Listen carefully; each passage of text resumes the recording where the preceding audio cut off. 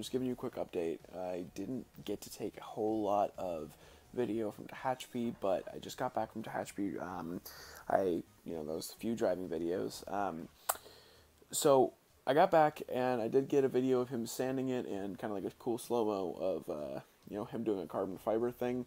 Um, you know, just the gloss on the carbon fiber. I'll show that.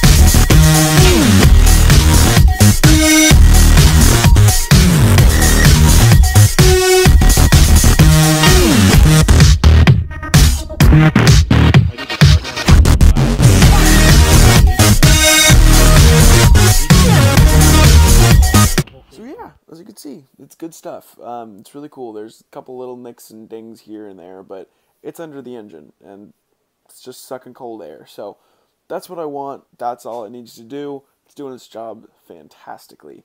So, um, how is it driving? It's driving really, really, really well. Um, for not having a retune, I am extremely surprised with how well it's driving, to be honest.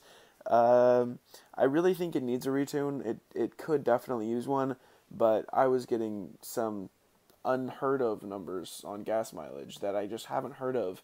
You know, on a 373 um, S197 Mustang, or at least my car. I don't know. I've always gotten about 19 highway, so this was this was really cool to get um, 25 to 27 again at 75 miles an hour. I mean, I was I'm thrilled. I mean, I think it's awesome that I don't have to go to 331 gears. Car pulls fantastically. The torque curve on my car is fantastic. It's very linear. It's very um, through the power band. It's it's all the way there, and it's really pronounced in the mid range. But I notice on the low end, it actually doesn't take a downshift to get up a hill. And the other thing I've noticed is that uh, I live in a valley, actually, so my elevation is pretty low, and I do get that nice dense air. But I notice that it doesn't really care if there's a hill or not anymore, as to where before I actually noticed I had to put my foot into it a little bit more to get up a hill. Uh, now it doesn't really care if there's a hill there or not, uh, it just goes right up. So that's one of the really cool things I've noticed, as well as the gas mileage. Um, it's it's a really good idea. So I'm going to show you guys now.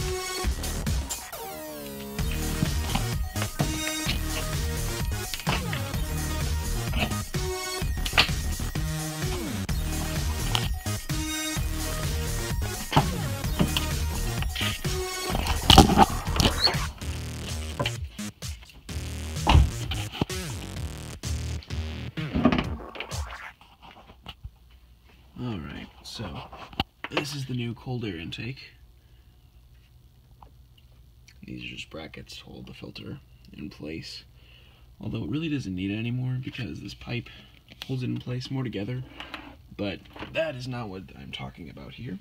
This is a custom cold air intake and is not um, easily buyable.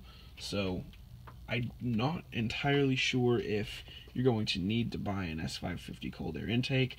You just have to be a little bit innovative with how you set up your existing cold air intake. So this manifold is sitting absolutely beautifully.